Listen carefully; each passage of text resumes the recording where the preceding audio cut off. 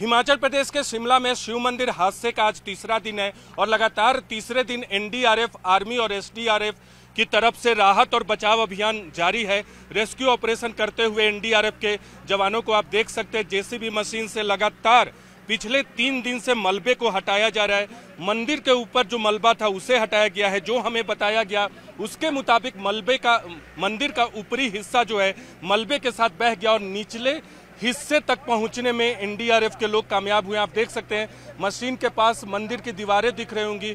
दूसरी तरफ़, मलबे से आपको अंदाज़ा लग सकता है कि कितना भयानक, दर्दनाक रहा होगा वो पल जब यह हादसा हुआ था। नीचे एनडीआरएफ के अधिकारी हैं और दूसरी तरफ़, दो किल, दो से तीन किलोमीटर नीचे तक जो जो पेड़ों के बीच में रास्ता दिख रहा है, पर्वतीय नदी नदी जैसी आकृति आपको दिख रही है। दो से तीन किलोमीटर तक आगे मलबा गया है और उसमें भी कई लोगों की जिंदगियाँ बह गई हैं। देख सकते हैं, निचले हिस्से को आपको दिखा रहे हैं बार बार करीब तीन से चार किलोमीटर तक ये पूरा का पूरा मलबा बिखरा पड़ा है।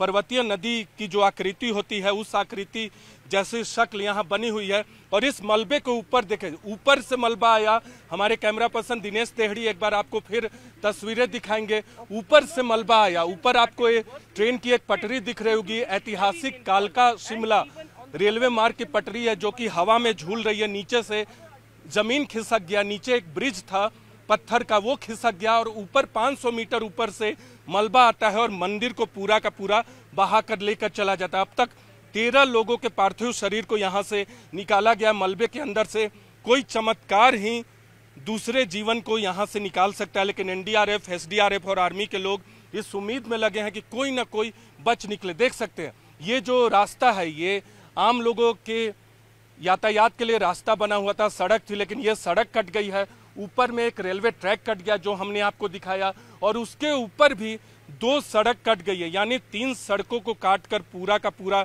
मलबा आगे तीन किलोमीटर तक लोगों को ले गया है, मलबे को बहा कर ले गया पानी और जो मिट्टी था, इसके अलावा एक रेलवे ट्रैक को नुकसान पहुँचा है तो लगातार तीसरा दिन रेस्क्यू ऑपरेशन का और इस उम्मीद में कि कोई ना कोई जीवन यहाँ से निकले। कैमरा पर्सन दिनेश देहड़ी के साथ Neeraj Kumar, news eighteen India, Shimla.